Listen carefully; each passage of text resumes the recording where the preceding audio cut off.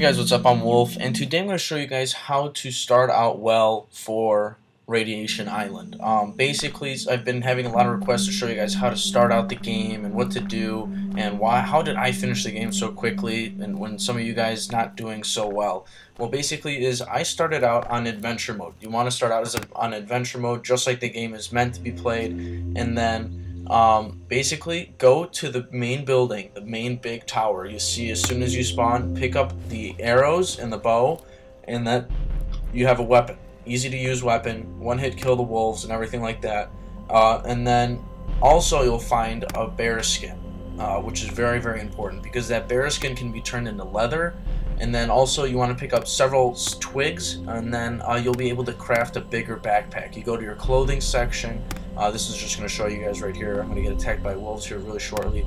But actually, the wolves drop leather too, so if you if you don't find the bear skin, you can kill wolves and take their leather uh, for your backpack and stuff like that. So basically, is I'm going to kill these on uh, zombies, wolves, and then um, uh, uh, if you're wondering, I was playing this on my iPod Touch. I didn't want to mess it up on my other device with my account and stuff and the game like you know game save and stuff. And I also did figure out that you can have several different profiles if you want to restart the game in a different you know setting exploration adventure whatever and so on. I'll show you guys that later in the video.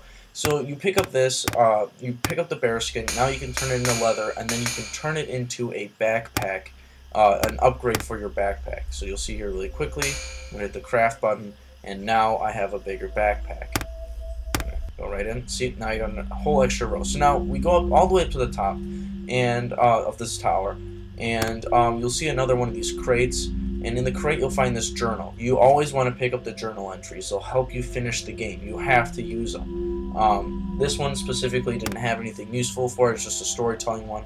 Uh, but right here, I'm going to pull it up again, and you guys can see here. I'm going to go over the side after I look at all the settings and stuff like that. But um, those things, uh, the journal entries will definitely help you because you need to have them for the codes that they give you. The codes will help you take down the conduits or Tesla towers that they have. So here on the side, you can see we have change active profile. So I'm going to go back to change active profile, and you can see there's my active one right now, and then you can have several different ones going all the way down. So you could do that to join start a new game, or you can totally uninstall the game, delete it, and then reinstall it, and then you can, you can restart all over again. Some people were asking me how to do that. When you come up to one of these houses with the sleeping beds, always go in and tap the bed. Even though you can't sleep in its daytime. Here's another journal entry, here's going to be a code. Always tap the bed because it's important, because if you die, you respawn at the closest bed you've been at. So definitely do that. So now leaving this, uh, we're going to go uh, explore now to other houses and stuff like that. I walked up to that house, there wasn't much importance.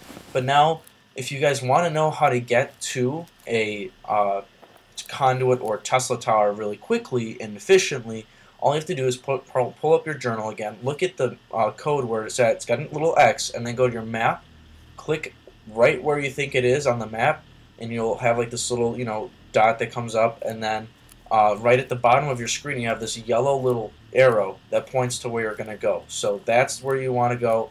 Head that way. Just keep going, and you'll get to the place.